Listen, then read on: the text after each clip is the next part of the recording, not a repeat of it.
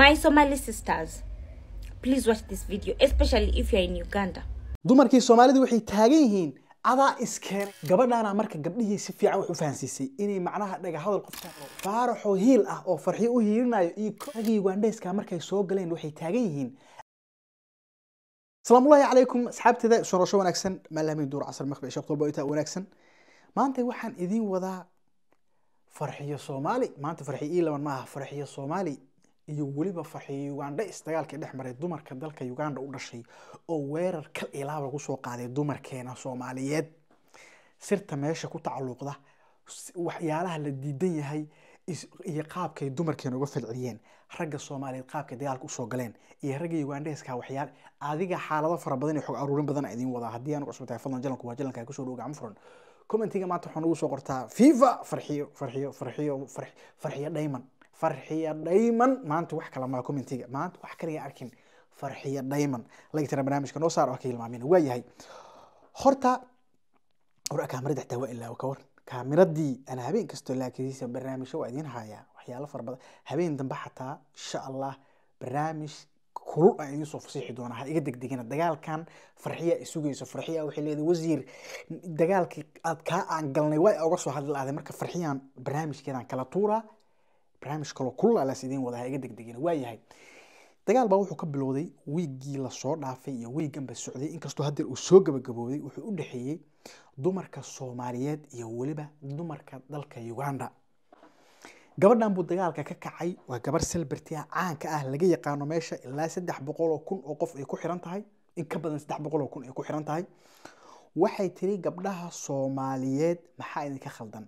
Waay aan noo soo dhexgeli la adihiin waay markaad masaajidka timaadaan aada gooni gooni ugu fariisataan macnaha ma sagaal bilood ka badanaa ku dhala adiga furkay tuuratay qoftan waxaan u malaynaa xoogaha dhowr gabdhoo soomaaliya intay dhexgal istiraal yiri tirisho Why is it that you people, when you come to the mosque to pray, you separate yourselves from the rest that you found at the mosque, inside the masjid? Hmm? You find your friends. Gabadhan dagaalkeeda wuxuu salka ku hayaa markaa gabadhan dabcan waa gabar xijaaban muslimad ah waxay ka ganacsataa dharka soomaalida ay xirtaan oo kale. Marka markaad si dhiible u sii geshid meesha ay gabadhan kulushahay boqolkiiba sideetan waxaa loo qaadi karaa waa qiyaasteeda ma ogtahay in xogaha xagga business challenge oo kale intuu dhacay lais challenge gareeyey challengegii xogaha gabdhaha soomaalida ahaa maadaama wax ka adeeganaya ay gabdho kaloo soomaali ay yihiin in xogaa qoftan xagga suuqa looga dheereeyey gabadhan marka ayadoo barnaamijka haysato ee xagga masaajidka diinta macnaha filinkan soo waa yahay ragga soomaalidu ayay gadantihiin horta gabdhihii waa gabdhihii waa iska celiyeen gabadhaana horta u jawaabtay gabadhaana filinka fahantay gabadhaana u tilmaamtay inay gabadhan qadaf ay wado oo weliba dhagaxada ha- to be clean. Yeah, you're expected to smell clean. I'm not ex- I'm not saying go spray perfume all over yourself. However, taking a shower will not hurt anyone. In fact, you are expected as a Muslim to smell clean when you go to the mosque. And I'm not talking to you specifically, but I'm talking to anyone. Marka waxaan fiirinaynaa horta ragga soomaaliyeed. Dumarka ayaga qa waa loo daatay gabadhan waa la karbaashay dumar fara badanaa karbaashay. Laakiin laba bointiyaa raba oo muhiim inaan dul istaago. Ragga ugandhayska ah markay arrinkan soo galeen waxay shirka la yimaadeen iyo ragga soomaaliyeed waxay shirka la yimaadeen. Horta ragga soomaaliyeed hiil toos u ahaa. Faarax farxiye asagaas meelaha ka soo marmaro hala jaala iska dhidhibo. Laakiinse markay baasha gadaal tagto gabdhaheena say garabkeena uga safan yihiin ay wiilashana gabdhaha garabkooda uga safteen. Waxay taagan yihiin gabdhaha soomaalida ah urka faraha badan kama helaan. Cadayga iyo qubayska in lagu dadaalo waa muhiim.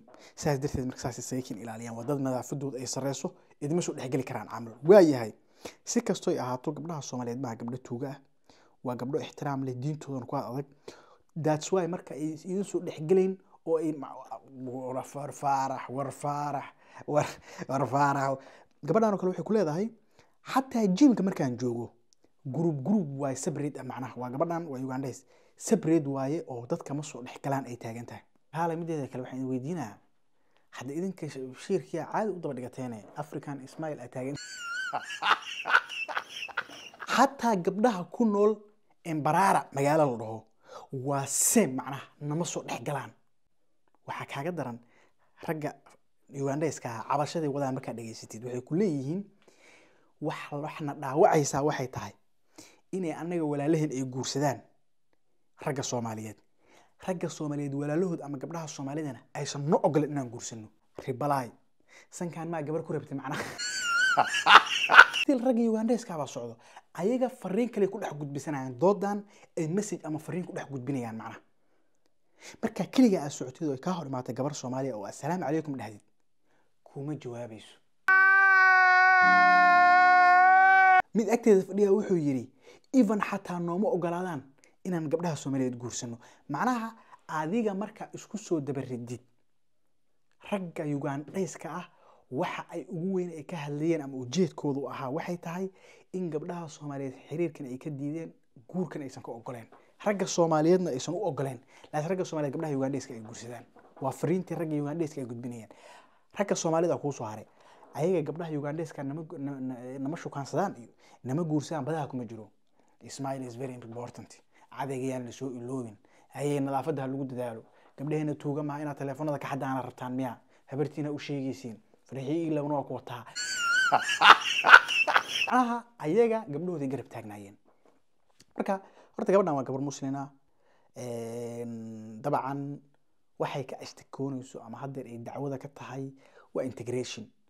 Aan isweydiino caqliga markaan ka shaqaysiino gabar wadankeedii joogta haddeer adiga soomaaliya markaad joogtid dad wadankaaga marti ku ah oo ama ugandhes ama kenyaan ama ethoobiyan haddii adiga aysan ku soo dhexgelin dee meeshii shan gabdhood oo soomaaliya ay joogto waxaa laga yaabaa konton qof oo ugandhes inay joogaan.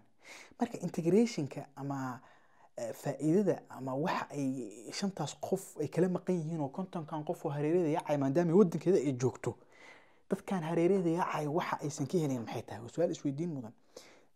Labo integration waa wax fiican in bulshada la nooshahay wadanka aad ku nooshahay inaad integration la samaysid inaad la macaamishid qof furfuran inaad noqotid.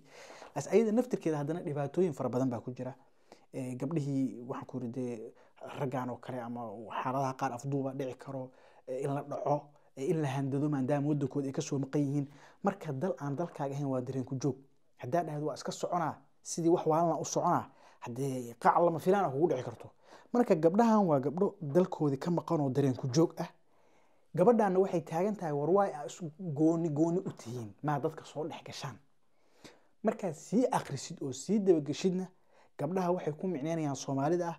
Gabadhan inay bisinisada soomaalida business u ay furatay halkaasna xoogaha maadaama dumar soomaaliya badanaa dharka ay gadayso dadka gata ay soomaali u badan yihiin in suuqi looga dheereeyo halkaas ay xoogaha ka careysan tahay.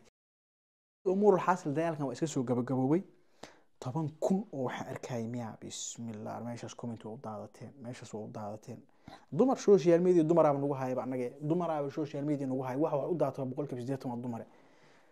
Xariifadaas hadday soomaalida wa- wa- wadcigeeda iyo social media soomaalida qaabka u haddii ogaan lahayd afaaraan maba aysan geli lahaynba dhiiqii lagu hala gashay. Waayahay kuma dheeraanayo farxiyo.